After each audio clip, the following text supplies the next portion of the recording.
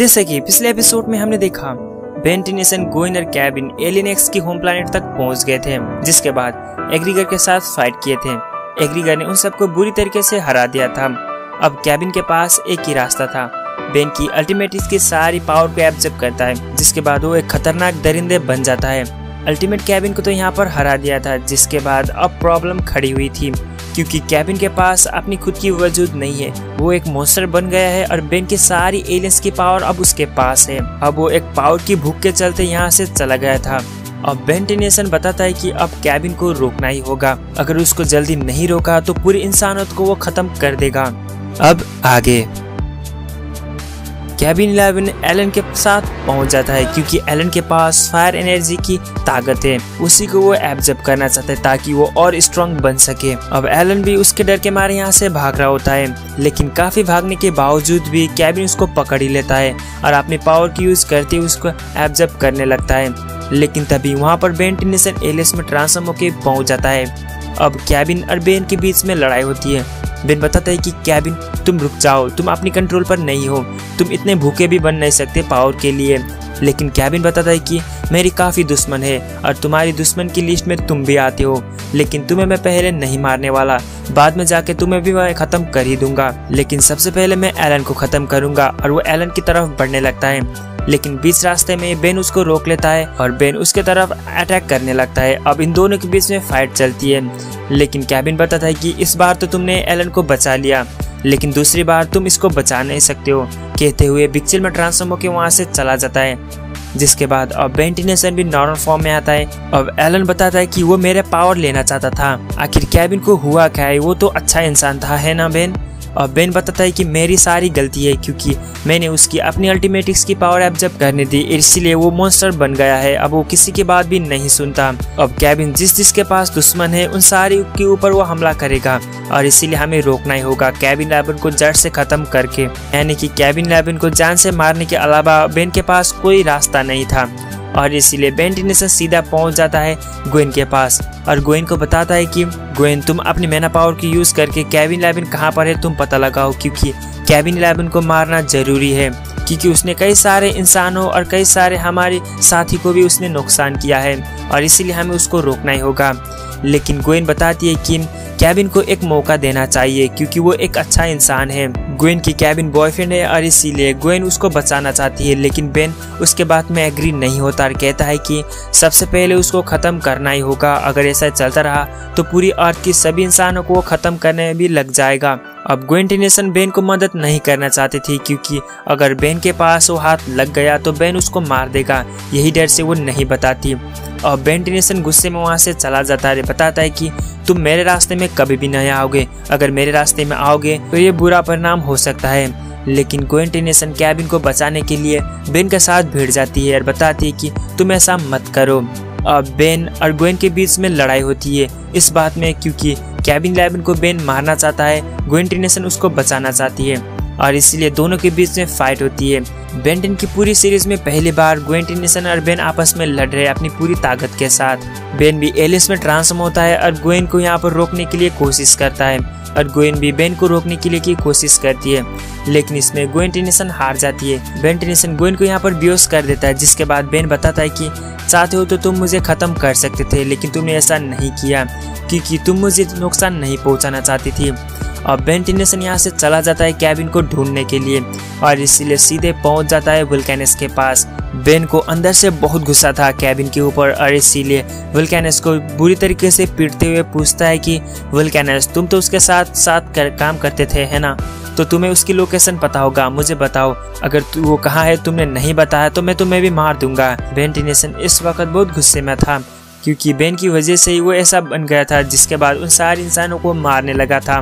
लेकिन वुल्कैनस के पास उसकी लोकेशन नहीं थी और इसीलिए वुल्कैनस बताता है कि मुझे नहीं पता है कि कैबिन इलेवन कहाँ पर है। दूसरी तरफ़ देखा जाता है, जहाँ पर ग्वेंटिनेशन सीधा जाती है और डार्क स्टार के साथ पहुँच जाती है और उसको मदद मांगने लगती है और बताती है कि कैबिन इलेवन को नॉर्मल फॉर्म में लाने के लिए तुम मुझे मदद करो। इसके बदले में मैं तुम्हें पावर दूँगा, जिससे तुम ठीक हो सकते हो। क्योंकि इसके अलावा गोइन के पास कोई चारा भी नहीं था। अब डार्क स्टार भी मान जाता है क्योंकि उसके बदले में उसको काफ़ी सारे पावर मिलने वाली थी। ग्विंटिनेशन कैबिन को बचाना चाहती है तो दूसरी तरफ़ बेंटिनेशन उसको जान से मारना चाहता है। ग्विंटिनेशन वही बेंटिनेशन के साथ पहुँच जाता है और बेंटिनेशन भी डार्क स्टार को देख के हैरान होता है। कहता है कि ग्वेन तुमने इसके ऊपर कैसे भरोसा किया? क्योंकि ये काफ़ी भरोसे लायक भी नहीं है। लेकिन ग्वेन बताती है कि, ये हमारी हेल्प कर सकता है कैबिन को नॉर्मल फॉर्म में लाने के लिए। बेन बताता है कि, अब ऐसा कोई फ़ायदा नहीं है। क्योंकि कैबिन हद पार कर चुका है। हमें उसको ख़त्म करना ही होगा। लेकिन ग्वेन उसको समझाते हुए बताती है कि, बेन, तुम रुक जाओ। ऐसे भी मत सोचना क्योंकि कैबिन इलेवन बदल सकता है। वो पहले भी ऐसा हुआ था। तो वो फिर से वो नॉर्मल फॉर्म में आया ना। इस तरीके से हमें उसको फिर से मदद करना होगा, ताकि वो अपनी नॉर्मल फॉर्म में आ सके और नॉर्मल ज़िंदगी जी सके। और डार्क स्टार भी बताता है कि, मैं उसको अपने नॉर्मल फॉर्म में ला सकता हूँ। मेरे पास एक ज़रिया है। अब ये बात से क्लियर होती है कि कैबिन लेवन अपनी नॉर्मल फॉर्म में आ सकता है। लेकिन कैसे आ सकता है, हमें आगे बताया जाएगा। और बेन अपने नॉर्मल फॉर्म में आता है बताता है कि गोइन देखो, अगर कैबिन ने कुछ भी किया और किसी को भी नुकसान पहुँचाया तो उन सारी वजह तुम होगे। अब गोइन ट्रिनेशन भी इसमें एग्री करती है, जिसके बाद अलग सा सीन दिखाया जाता है, जहाँ पर कैबिन लेवन अपने रास्ते घर के अंदर जा रहा होता है। तभी हमें गोइंटिनेशन दिखाई जाती है, जो कैबिन के सामने होती है। अब गोइंटिनेशन वहाँ पर पहुँच गए थी ताकि कैबिन को समझा सके। लेकिन कैबिन के पास तो काफ़ी सारे एलियंस की पावर थे, जिसके बाद वो एक मॉन्स्टर में बदल गया था, और वो अपनी काबू में भी नहीं है। गोइन को देख के बताता है कि गोइन तुम यहाँ पर क्यों आए हो? क्या मरने के लिए आए हो क्या? गोइन टिनेशन नम्र भाषा में बताती है कि, कैबिन, तुम रुक जाओ। तुम जो भी कर रहे हो, ये सारा कुछ गलत है। तुम अपने नॉर्मल फॉर्म में आने की कोशिश करो। अब इस बात से वो चिढ़ जाता है बताता है कि मैं जैसा हूँ, ठीक हूँ और तुम मेरे रास्ते में आने की कोशिश भी मत करना। अगर आए तो तुम मारे जाओगे। और वो काफ़ी गुस्से में बताने लगता है। ग्वेंटेसन बताती है कि तुमने काफ़ी चीज़ अच्छे अच्छे करने की कोशिश की है और तुम एक अच्छे इंसान भी हो। अब इस बात से कैबिन को कुछ होने लगता है, लेकिन वो अपने गुस्से में ग्वेंटिनेशन को पीटने लगता है। ग्वेंटिनेशन भी दूर जाती है और बताती है कि तुम अपने कंट्रोल में आ सकते हो, कैबिन। तुम दोबारा कोशिश करो। यानी कि ग्वेंटिनेशन कैबिन को अपने नॉर्मल फॉर्म में आने के लिए दिमाग में ज़ोर दे रही है। लेकिन कैबिन लैबिन अपने गुस्से में सारा कुछ तोड़फोड़ करने लगता है और बताता है कि गोइन तुम यहाँ से चले जाओ, क्योंकि मैं तुम्हें हाथ भी उठा सकता हूँ। मैं ये नहीं चाहता हूँ कि मैं तुम्हें भी हाथ उठाऊँ। यानी कि कैबिन के इस मोस्टर फॉर्म में अच्छा ही छुपा है क्यों क्योंकि ग्वेंटिनेशन वो उसकी गर्लफ्रेंड है उसको पता है और इसीलिए वो नुकसान नहीं पहुँचाना चाहता।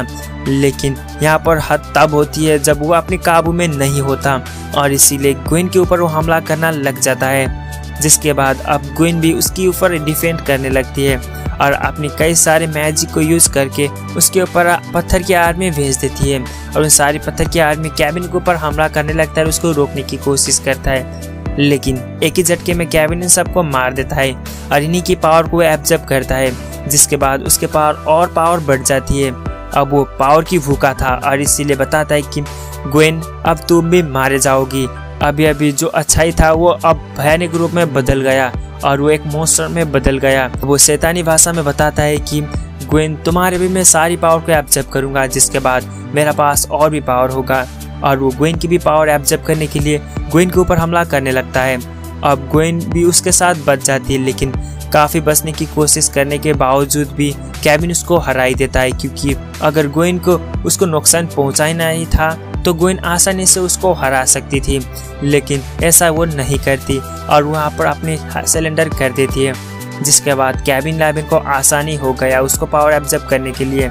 और उसके ऊपर टूट जाता है और उसको खींचने लगता है। जिसके बाद वो अपनी एनर्जी को, सारी एनर्जी गोइन के पास जो भी था, वो उसके ऊपर लेने लगता है।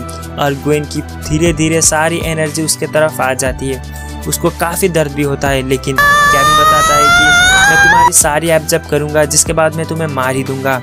गोइंटिनेशन काफ़ी दर्दनाक तरीके से चीखने लगती है, क्योंकि उसको काफ़ी दर्द हो रहा था, क्योंकि उसकी सारी एनर्जी कैबिन इलेवन सोख रहा था। इसी के साथ ये औसम एपिसोड खत्म होती है। तो आगे स्टोरी हमें नेक्स्ट एपिसोड में मिलेगी।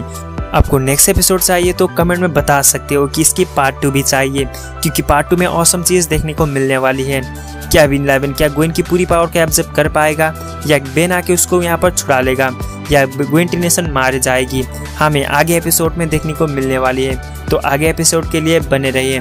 सो ये वीडियो कैसी लगी तो आप लाइक करके बता सकते हो कमेंट में भी बता सकते हो।